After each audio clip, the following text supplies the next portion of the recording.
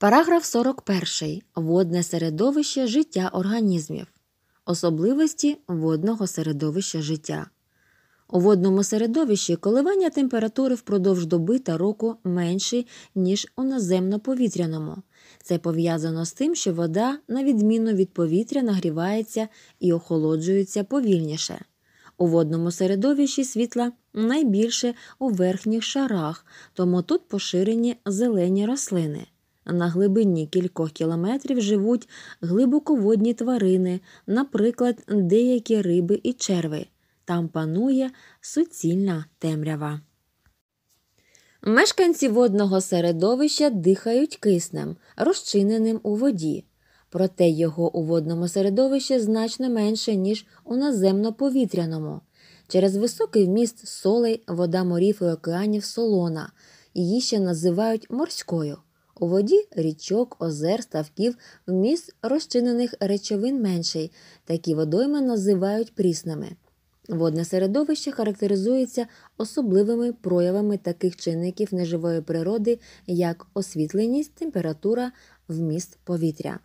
Вода середовище життя багатьох організмів. Із тваринних організмів водного середовища зазвичай першими згадуємо риб.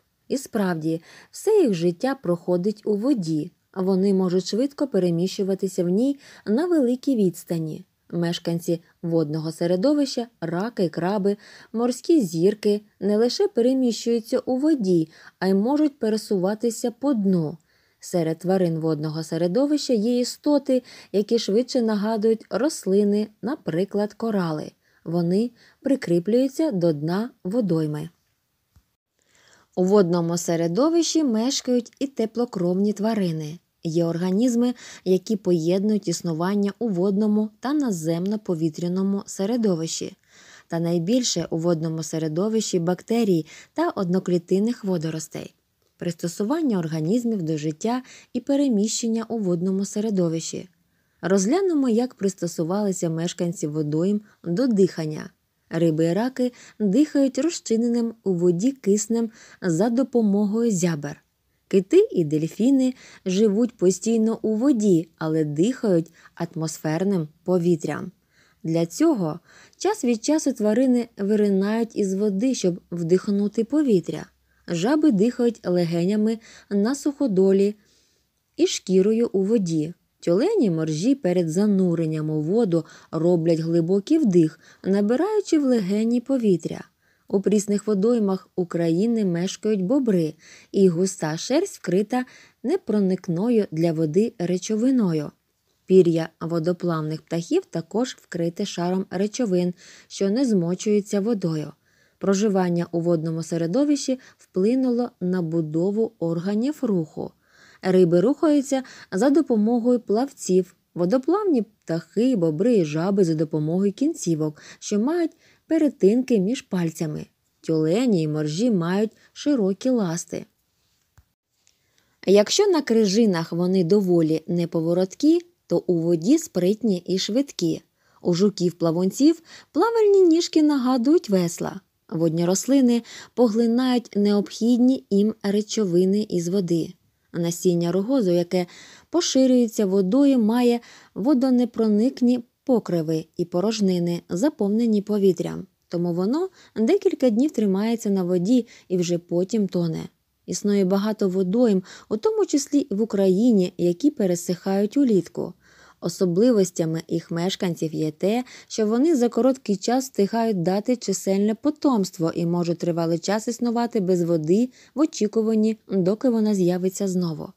Організми протягом багатьох віків пристосувалися до особливих чинників водного середовища.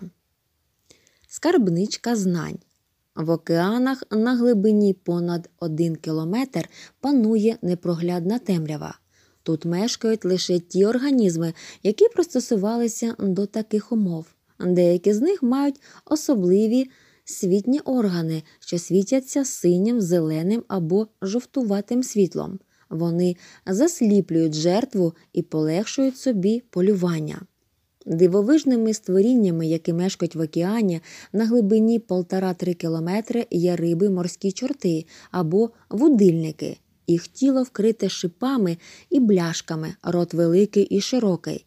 Із спинного плавника морського чорта виростає і нависає над хижою пащою вудка, на кінці якої є світний орган. Морський чорт використовує її як приманку. Рухлива світна цятка привертає увагу організмів, що пропливають повз водильника, а той обережно підтягує вудку до рота і в певний момент дуже швидко ковтає здобич.